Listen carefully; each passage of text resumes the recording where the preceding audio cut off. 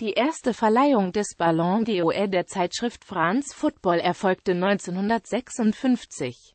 Sieger und somit erster Fußballer des Jahres Europas wurde der englische Rechtsaußen Stanley Matthews. Jury- und Abstimmungsverfahren Die Idee zu diesem Wettbewerb hatte der Redaktionsdirektor von France Football, Jacques Fahan, der dann auch die Organisation übernahm.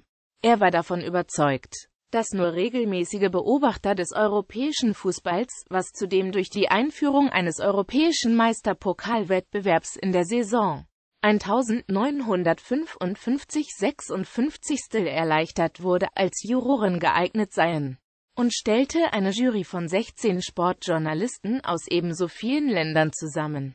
Auch Österreich, die Schweiz und Deutschland waren darin vertreten. Ebenso drei Journalisten aus dem Ostblock. Für Frankreich stimmte Gabriel Hanot von L'Equipe ab. Jeder Juror vergab an fünf Spieler seiner Wahl eine Auswahlliste hatte France Football nicht vorgegeben, 5, 4, 3, 2 bzw. einen Punkt. Die Voten wurden per Brief oder telefonisch an die Redaktion in Paris übermittelt. Ergebnis In seiner Ausgabe vom 18. Dezember 1956 veröffentlichte France Football das Ergebnis. Stanley Matthews, Alfredo Di Stefano, Raymond Cooper, Ferenc Puskás, Lev Yashin, Josef Boschik, Ernst Ockwirk, Sander Coxes, Ivan Kolev Billy und Tadej Zizowski.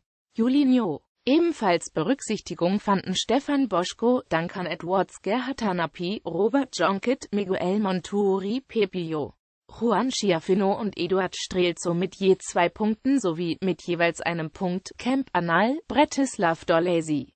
Roger Piantoni und Keith Rivers.